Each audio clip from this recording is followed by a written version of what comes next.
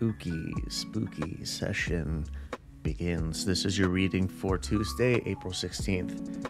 If you would like to see the spread, LVX Media Net on Instagram. Today I'm using Tarot by any means necessary.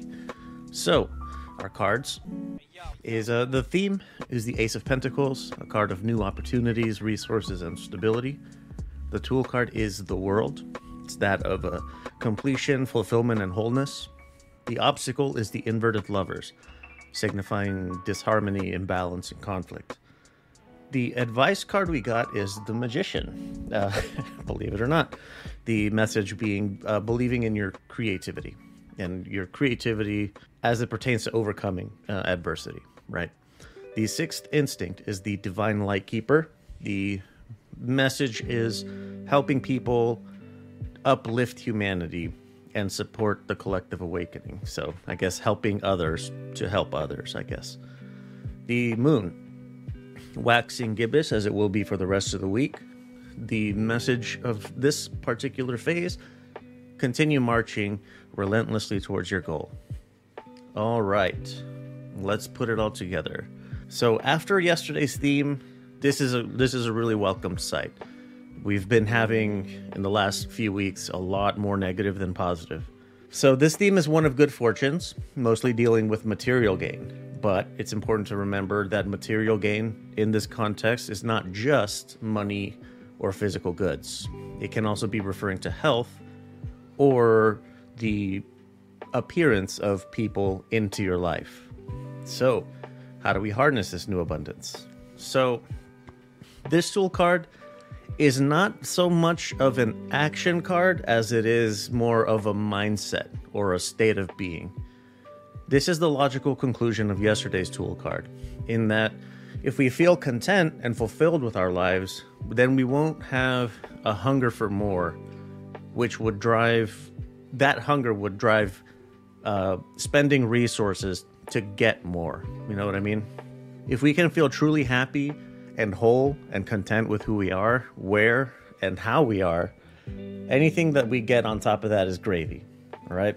The obstacle to realizing this, it's definitely not the only one, but the one that was presented in the cards is uh, it's a simple one, but it's a profound one. That's a lot like yesterday's because they're the same fucking card, right? So the upright interpretation of the lovers is a, it could be either self love or love with another person. And the inverted has presents the same possibilities, but instead of uh, love, it's conflict. So, in the context of the reading, I think that it's an internal conflict of not being able to accept those feelings of contentment. Um, fortunately, our advisor is once again the magician, believing in yourself and your ability to overcome the the feelings that are presented by the obstacle card. You have the innate creative ability to find ways around these barriers to happiness. Yet I, I know it's a lot easier said than done. You know, it's easy for me fucking sitting atop my high horse here. But the sixth instinct, this is something that I think that everybody should strive to be. Uh, I know I can say without a doubt that is what I strive to be. So I think, given yesterday's sixth instinct of humanity in, at large as a concept, this one might be a sign of what you can be if you can achieve the deeper meaning of the world, the card, I mean. You know, the, the, the content, happiness with who you are, and feeling whole and over over filled with love and ready to give it to anything and everything.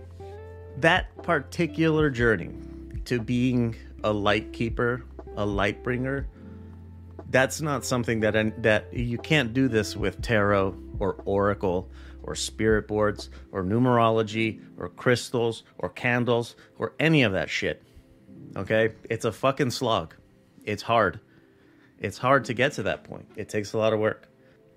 Yeah, and despite it taking a lot of work, I can tell you with a very strong degree of certainty that it's worth it. I promise that it's worth it.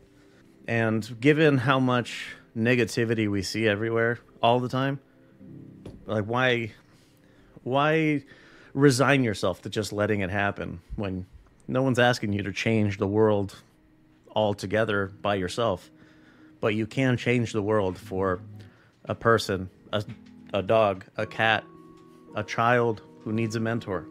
You can make a difference. You can keep the light. So, the moon phase. This one's calling you to lace up your boots and hit the road. Because, uh, yeah, if your goal is to become a light keeper or continue keeping the light, it's it's fucking rough. So lace up the boots and get get to stepping. That's all you really can do. The stone today we is a clear quartz, which is just a useful all-around sort of tool. One of its key aspects is that it's supposed to open the mind to higher consciousness. Now, if you recall the sixth instinct card, this is probably exactly what we need today. So there you have it. That's Tuesday, April 16th. Um, if you'd like to see how I put this together, head over to patreon.com slash lvxmedianet. And uh, if you sign up for the Ookie Spooky tier, then you can see I publish the video at the end of every week. You can see how I get all the cards that I get, how the stones come out, how the coin flip comes out, which I haven't been giving you, but it's more fun when Lily's with me, so I've been holding off on it. I mean, you can go see the coin flip for yourself at uh, on Instagram, right? Uh, if you have any questions, comments, or anything about the reading, 833 Lux Pods. You can call if you want your audio cut in, call and I can do that. Otherwise, you can text. Uh, if you want a personalized reading, go to lvxmedia.net. And there, if you go to the Ookie Spooky page, which it would be .net slash spooky. You go there, and there's a form you can fill out that'll uh, all the all the requisite information that I need to give you the best uh, best reading I can. Important note: LVX Media Net. That's the social media handle. If it everywhere, anywhere and everywhere. If you cannot find it, we are not on it. But it's important for you to know if you are trying to communicate with me about a reading or something and you don't want other people seeing what we're talking about, do not DM me. Do not DM me. It's not private. Uh, believe it or not, this is a little bit of a business that I'm running. I have some of my partners that work on this with me that have access to the account. Okay.